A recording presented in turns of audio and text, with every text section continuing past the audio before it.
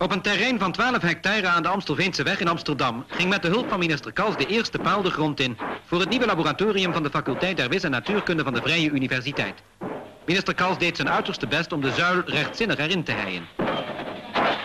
Aan die nieuwe huisvesting bestaat voor de 3000 studenten grote behoefte, want de verschillende afdelingen zijn thans verspreid over heel Amsterdam. Het pand aan de Keizersgracht is al van 1885 af als universiteitsgebouw in gebruik. In de regentenkamer staat het borstbeeld van Abraham Kuyper, die een der eerste hoogleraren van de VU was. In dit gebouw zijn de collegezalen van de Theologische en Juridische faculteit alsmede de centrale bibliotheek gevestigd. Er is een wegwijzer nodig om de studenten naar de verschillende zalen te verwijzen. In dit veel te kleine gebouw heerst bij het wisselen van de colleges een groot gedrang. Ergens anders in de Paulus Potterstraat is onder andere de opleiding in de psychologie ondergebracht.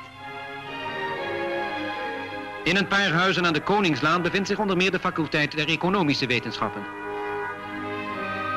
Enkele medische laboratoria zijn gehuisvest aan de Prins Hendriklaan.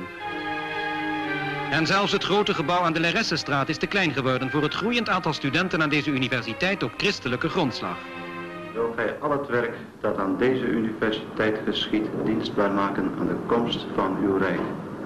Wij vragen u dat om Jezus wil. Amen. Het behoeft geen betoog dat studenten en docenten grote last ondervinden van deze spreiding der faculteiten. Concentratie is dan ook een dringende noodzaak. Als zeer hinderlijk doet zich ook het ontbreken van een eigen aula gevoelen. Voor academische plechtigheden gebruikt men veelal een kerk. Maar de rector magnificus professor Diepenhorst ziet de toekomst van de VU met vertrouwen tegemoet. Ik kan echter met enige voldoening verklaren als rector dat op dit ogenblik plannen op stapel staan ter grootte van enkele honderden miljoenen.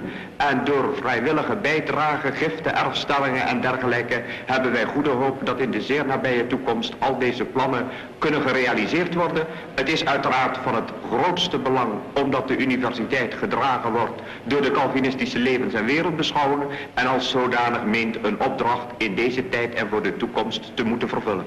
Op het terrein aan de Amstelveense weg is men reeds ver gevorderd met de bouw van het nieuwe academische ziekenhuis dat een capaciteit krijgt van 700 bedden. Men hoopt het in 1963 in gebruik te nemen.